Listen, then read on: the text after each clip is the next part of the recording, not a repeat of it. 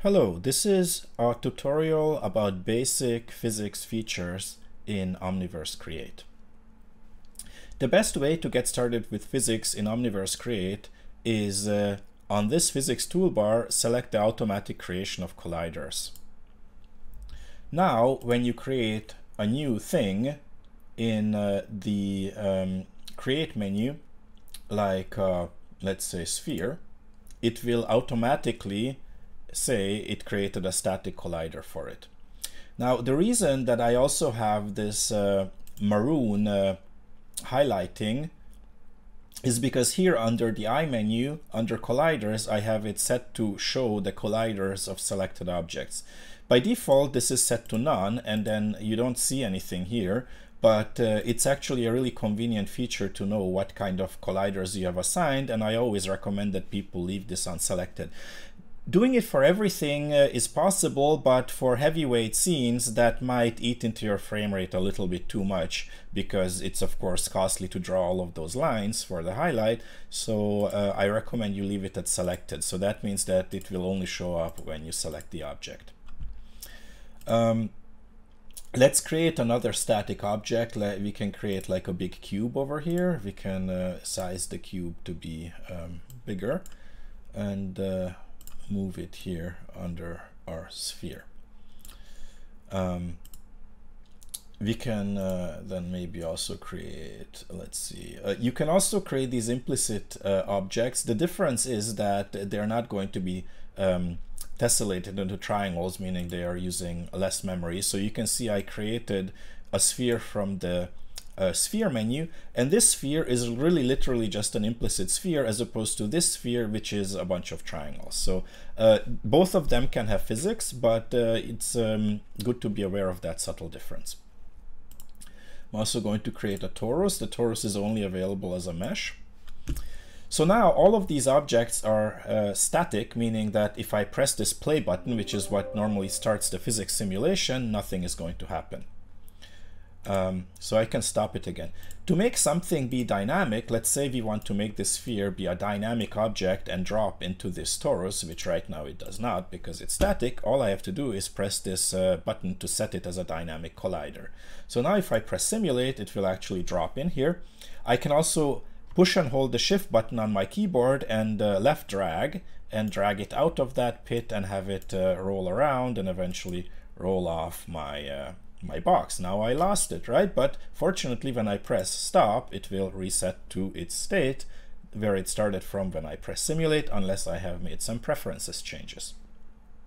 So that's already the basics of how you can uh, set up objects with either static or dynamic physics behavior and have them collide with each other.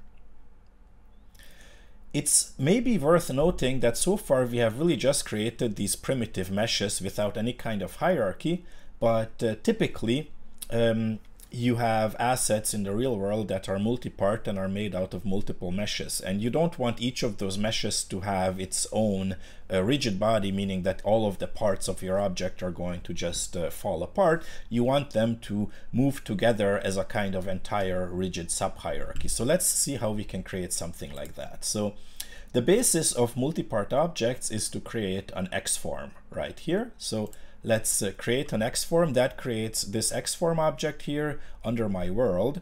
And uh, I can now move this around. And I can uh, put meshes under it. So to immediately create a mesh under this X-form what you can do is just uh, right click to get that same create menu. And uh, let's say we want to have a box.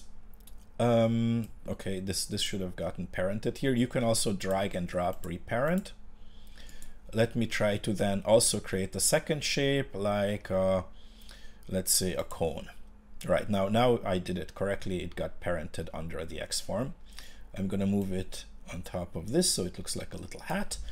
Um, and you can see it's it's creating those uh, those maroon highlight colliders for all of these things. So if you, if you just want static colliders this is all fine but I actually want to make this thing dynamic. Let's move it up a little bit again so it's not intersecting other things um, if I just um, click uh, to select this cube right now, and I uh, make it to be a dynamic collider, you will see it's only this part that gets made into a dynamic collider and the, little cap, the little hat for it got left behind. So that's no good. I'm going to make it back into static to undo what I just did.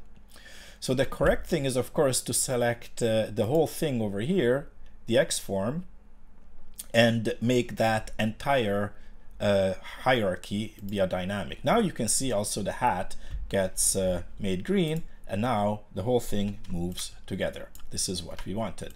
Now uh, the only problem with this, and uh, let me put this back to static, is that there is no way to select that entire hierarchy um, here in the viewport because um, if I select either part, it's just selecting that submesh. So how do you fix that? The thing is, is that you have to first, when you create the X form, you need to um, probably select it manually, or you can just do it right after you created it. Um, and then you can go down here and this is the kind field. This is a standard USD field. It's not related to physics and it's by default, it's not set to anything, but you can set it to one of these things. I usually use component. There isn't really a clear semantic difference uh, currently what, what these different things mean that I'm aware of.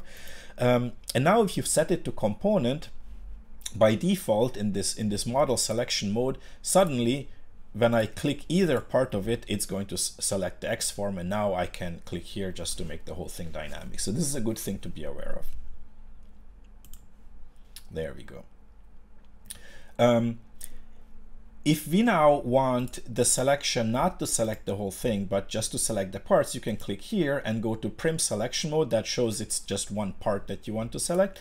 And now we can again select the subparts, but there is this highlight showing that it's actually uh, part of a group. So um, another kind of selection mode is up here. It's called the rigid body selection mode. And now that we have this um, whole group set up as a rigid body, um, even if I'm normally inside the prim selection mode, I can kind of override that and go into the rigid body selection mode. That makes the prim icon disappear to avoid any kind of confusion. And now I click here and it again selects the whole thing. It's a different colored highlight now. And uh, this means that this entire thing that I selected has a rigid body. Uh, that's probably it for the most basic uh, physics uh, simulation um, ideas that you need to be aware of. And uh, already knowing these things, you will already be able to set up some, uh, some interesting simulations in Omniverse. Thank you.